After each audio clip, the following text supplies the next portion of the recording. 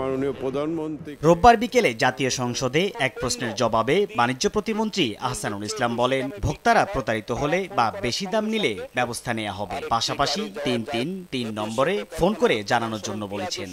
নিশ্চিত করার চেষ্টা করব। এখন প্রশ্ন হচ্ছে বাজারে কি সরকার নির্ধারিত দামে পণ্য মিলছে? চিনি যার সরকার নির্ধারিত মূল্য একশো টাকা বিক্রি হচ্ছে একশো টাকা দরে। তবে দাম বাড়ানোর পায়তারায় ব্যস্ত বিভিন্ন কোম্পানি।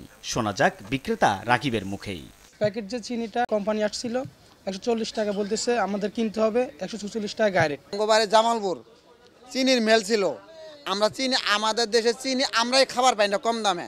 নির্ধারিত মূল্য দিছে এই মূল্য এই মূল্যটা সারা দেশে বাস্তবায়ন হোক।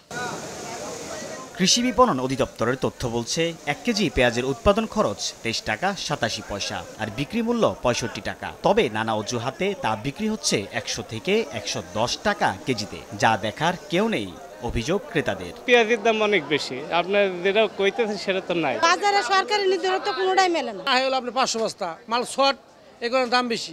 এক মিনিটে নগদ ইসলামিক অ্যাকাউন্ট খুলতে ডায়াল করুন চার ওয়ান সিক্স সেভেন হ্যাশ সবজির বাজারে উৎপাদনের চেয়ে বাজার মূল্যের মধ্যে রয়েছে বিস্তর ফারাক। তেরো টাকা বিশ পয়সা খরচে উৎপাদিত লাউ বিক্রি হচ্ছে একশো দশ থেকে একশো বিশ টাকা। ক্রেতারা বলছেন উপরের মহলের শুধুমাত্র হুকুমের বাণী শুনতে পাওয়া যায় তবে বাজারের চিত্র উল্টো।